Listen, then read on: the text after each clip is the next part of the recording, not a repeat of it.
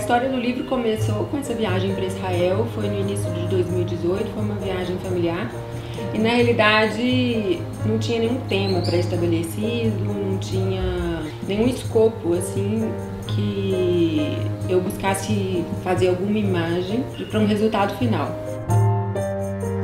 Retornando para o Brasil, como eu gosto muito de trabalhar com pós-produção, eu comecei a rever as fotos e é, buscar um pouco do sentimento e da sensação que eu tinha tido durante a viagem. Eu percebi que havia como se fosse uma, uma dificuldade de, de entendimento da situação, como se houvesse uma névoa, porque é, Israel é, tem uma densidade muito grande. É, é, são várias camadas, em uma mesma localidade você vê várias camadas de história, de tempo, de cultura.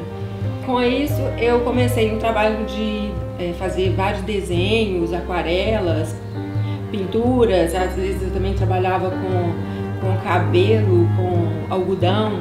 Quando eu senti a necessidade de procurar ajuda para estar tá fazendo um trabalho de curadoria. A gente foi orientando ela a intervir as fotografias por determinadas estratégias que ela tinha criado já.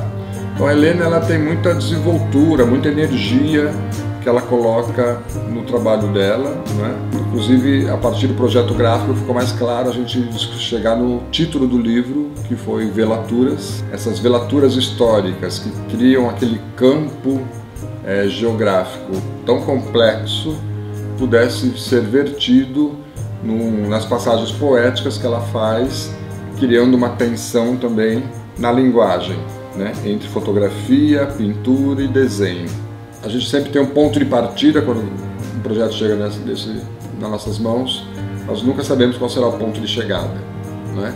porque são muitas questões técnicas, estéticas e conceituais que vão manobrando aqui a nossa embarcação até chegar no porto final. Eu gosto que o imaginário da pessoa flua mais.